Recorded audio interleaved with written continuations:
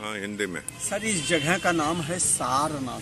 सारनाथ। सारनाथ नाम क्यों पड़ा है? सार मीन्स ज्ञान नाथ मीन्स गॉड। बुद्धा ने पाँच शिष्य को पहला ज्ञान पहला प्रवचन इस जगह पर दिया। है हम्म। जहाँ गौतम बुद्ध ने अपने पाँच शिष्य को प्रथम ज्ञान देने के बाद गौतम बुद्ध कुशीनगर में गए। हम्म। कुशीनगर में बुद्ध का डेथ हुआ डेथ होने से उनकी अस्थि राख वहाँ से इधर में लाया।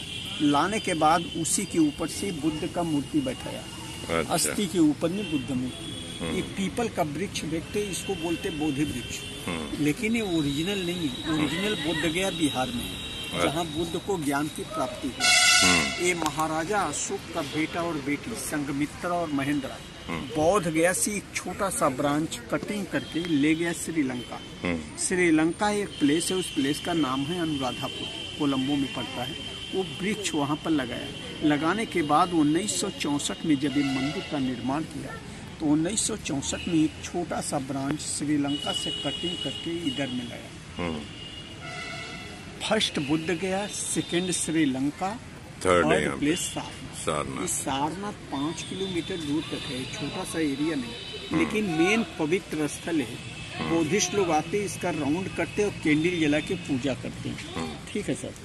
ये सामने वाला मंदिर जो देखेंगे वो उन्नीस में थाईलैंड वालों ने बनवाया। हम्म। ये मंदिर के अंदर में बुद्ध का जो विग्रह स्टेचू है वो नौ फीट का है। सिंगल स्टोन है कोई ज्वाइंट नहीं है। स्टेचू के ऊपर में गोल्ड कलर है। गोल्ड कलर क्यों लगाते हैं? जैसे हिंदू धर्म में तिलक लगाते हैं। ऐसे Burma Thailand Japan Sri Lanka Tibet. हर देश के बौद्धिस्ट लोग आता वो गोल्ड कलर लगाकर कैंडल जलाकर बुद्धम शरणम गच्छामी बोल कर लोग पूजा करता है। ये मंदिर का मेंटेनेंस थाईलैंड के लोग करते हैं अभी भी थाईलैंड वाले करते।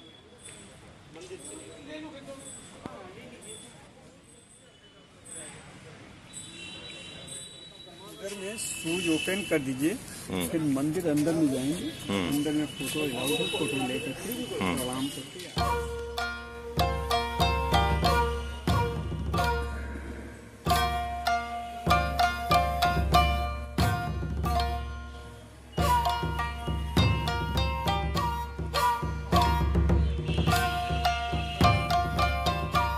ये लाफिंग बुद्धा है। हम्म ये चाइना वाले इसे गुरु मानते हैं।